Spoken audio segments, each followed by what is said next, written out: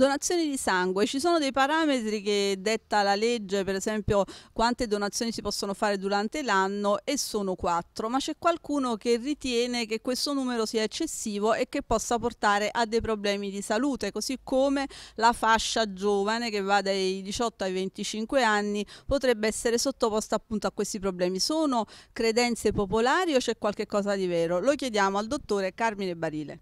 Allora, eh, sono credenze popolari. Se la legge pone dei limiti e dà eh, delle direttive, eh, sono ampiamente studiate, sono ampiamente eh, valutate e quindi vengono dati questi tipi di indicazione. Poi logicamente la fantasia popolare dà di tutto di più,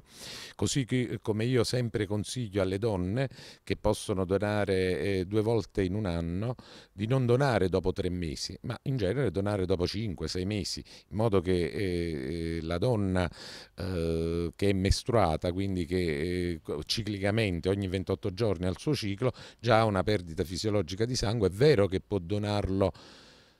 in due anni quattro volte, ma certamente non lo va a donare ad agosto, a dicembre, a, a febbraio e, e, e, a luglio, non so se rendo l'idea. Quindi avere un minimo, e poi sarà sempre il medico che fa eh, diciamo, la visita pre-donazione ehm, eh, che consiglierà. Indubbiamente non vi è nessuna controindicazione a donare a 18-19 anni io sono una prova vivente, ancora qui vivo, ho cominciato a 18 anni e un giorno a donare, sono il diciannovesimo eh, di Ischia, per, eh, per il nono per donazione di Ischia, dell'associazione che è nata eh, 40 anni fa e, e, non mi è successo niente, voglio dire, dono periodicamente, quindi è una grande bufala quella che l'organismo è in crescita